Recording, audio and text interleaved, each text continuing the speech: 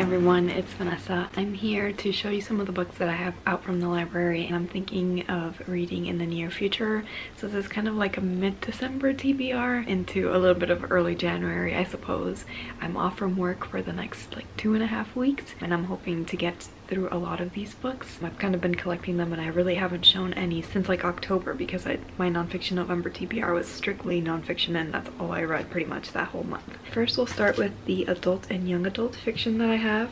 Um, I have quite a few right now. The first one is Lot by Bryan Washington. I'm really anticipating his new book Memorial but I wanted to start with his first book Lot. These are stories and you know that this year I was actually kind of surprised by liking one short story collection that I read so I'm attempting attempting to read more short story collections. Another short story collection that I have is Daddy by Emma Cline. I'm really excited that there's a new Emma Cline book out. If you have followed my channel for a really long time, The Girls was one of my favorite books that I read when it came out that year. I feel like it was 2017, 2018, so a while ago. And I've just been patiently awaiting for the next thing by Emma Cline.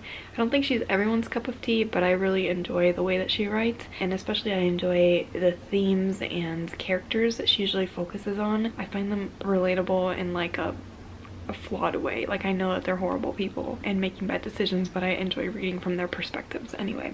So I'm excited to read this one. Another one that I have on audiobook um, from Libby is Moonflower Murders by Anthony Horowitz. This was one of my most anticipated reads of the year just because of how much I enjoyed Magpie Murders.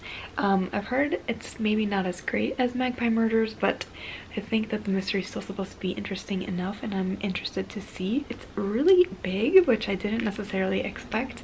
The audiobook is like 18 hours, but I remember how quickly I read Magpie Murders, which also had a really long audiobook. So I'm hoping that the same thing happens here and that this is one of the best mysteries that I read this year. Because I don't know if I've rated a mystery four stars this year. I think I've rated some three and three and a half stars. Another one that I've been really excited about that I saw, I've seen everywhere, but the last place that I saw it was on Deboki's channel channel and I really liked what she had to say about it.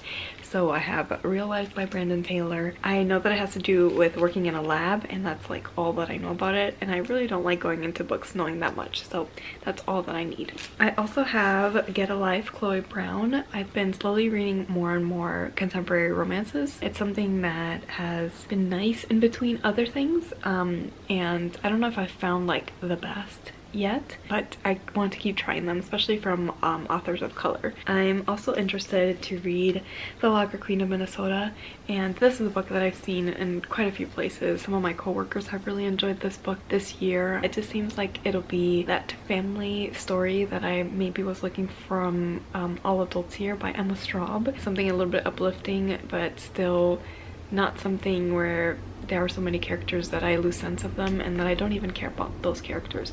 I'm hoping that I care about these characters. And then I have two young adult things. One is He Must Like You. I don't know if I've shown this one before. I probably have. I know that it deals with sexual harassment. I've read quite a few YAs about that this year. I'm almost done with Grown right now, which also deals with those sort of topics.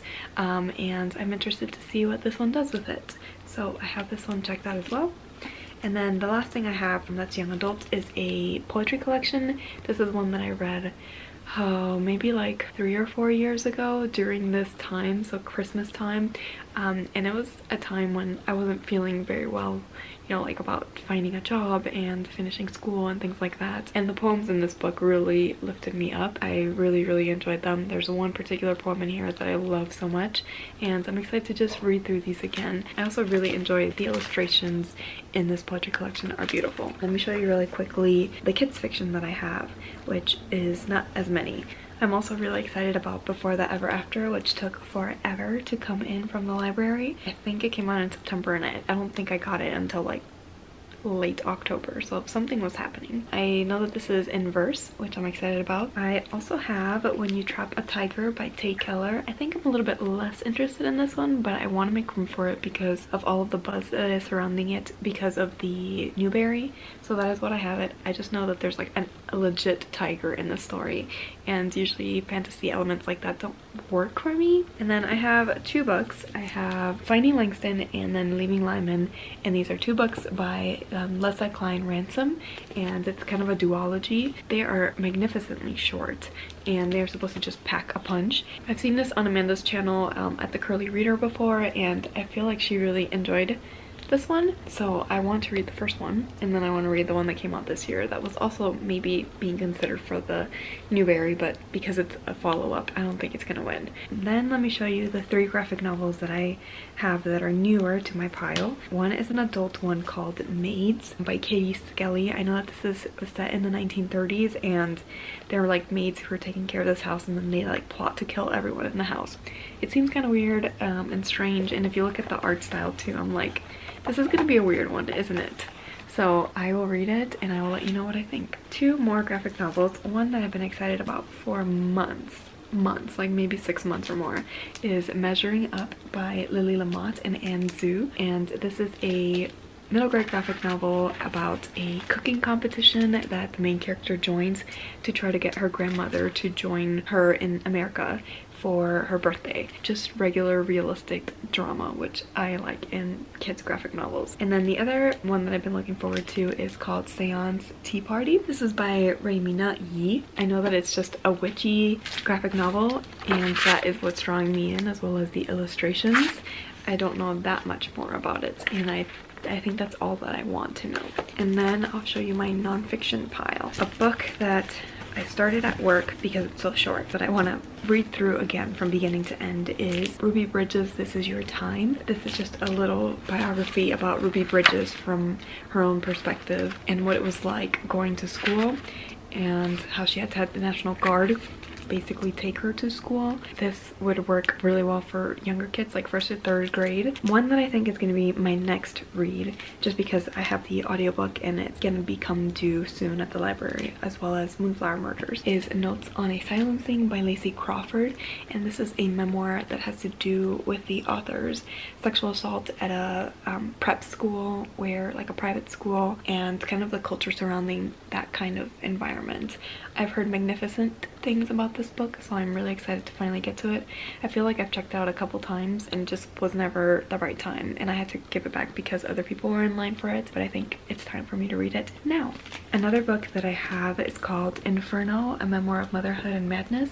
I believe this is by Catherine Cho and I believe that's to do with post-traumatic stress disorder after you give birth and I think I also have this one on audiobook. I also have Five Days at Memorial. It's from a university library so it came with no jacket. This is a book that's been on my TBR for ages and ages and then after reading Katrina during Nonfiction November I got re-inspired to check this out. I also have the audiobook of it. I've tried to listen to the audiobook before and I've never propelled myself to read more than like an hour of it so I'm hoping that having the actual text will help as well and that's basically about the Memorial Hospital and Katrina and how doctors had to basically triage care because they didn't have any power, like any electrical power, to keep all of everyone alive. And then what happened after all of that. And then I have two more. One of them is The Book of Atlantis Black by Betsy Bonner. And this book is about a sister trying to understand what her sister's final months were like. She was found dead and she was found with this name Atlantis Black. And it's her sister piecing together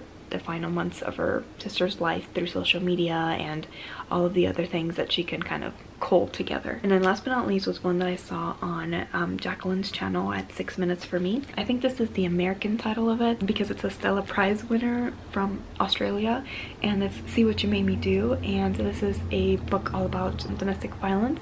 I read another one this year, No Visible Bruises, and that one was interesting and definitely eye-opening but I'm curious to see what this one will do with that um, to kind of expand my reading into the topic as well. So that's why I have this one checked out and this is another sad one that is only available on Audible exclusive so I can't listen to it um, but I will do my best to try to read it. So that's it for all of the books that I currently have out that are newer that you haven't maybe seen and that I hope to read in the next few weeks. I think I may post a couple vlogs of that experience. I have some books behind me as well that are kind of like ones that I've had out for a long time and I'm thinking of maybe doing a vlog of that, um, of reading kind of my, my backlist TBR cart books and then reading some of these new ones as well. So I hope that you look forward to that and I hope that you enjoyed this video. As always, if you've read any of these or would like to read any of these, let me know in the comments and I'll see you in my next video.